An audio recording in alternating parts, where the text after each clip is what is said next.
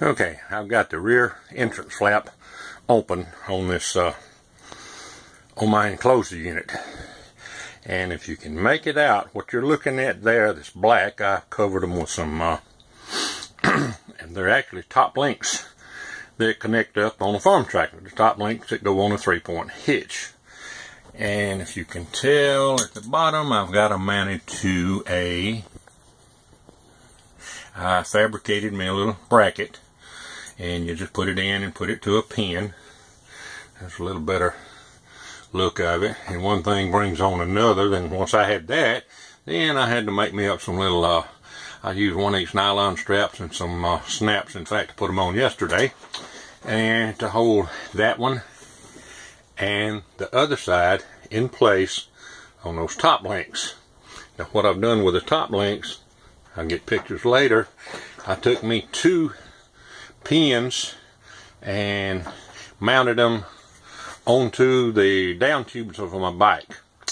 And when I pulled the bike up, you can see I've got the wheel chock there. Uh, that's not the one I ordered from them. I already had a wheel chock and I just adapted it to this uh, aluminum uh, rail, which that comes with the unit. Now, this plate on the outside, the checker plate, the aluminum checker plate on either side, that's part of the enclosure. Uh, the enclosure worked out well. It is very time consuming to install and get it on there. Just a lot of drilling, nothing complicated, but very time consuming. And like I said, we're looking, I don't know how it's going to turn out inside here with the shadows. But once I pull up the bike, I come up the ramp uh, onto the uh, uh, ramp where the wheels go, run up into that wheel chock. It holds it in place long enough for me to very carefully get off. And I take this, I take this uh, top of this link off here, and I had to grind one side off, the side to the left there.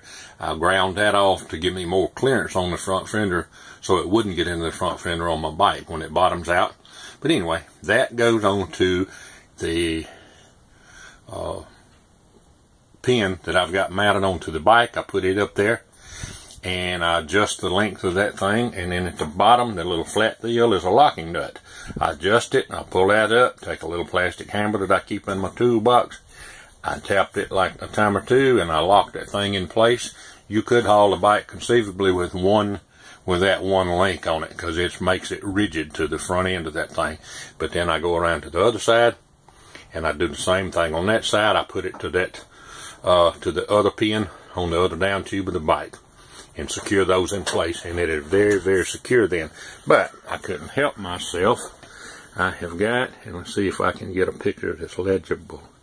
Okay what does it say? Cargo buckle that I already had to use in my pickup when I hauled my bike on the back of my pickup.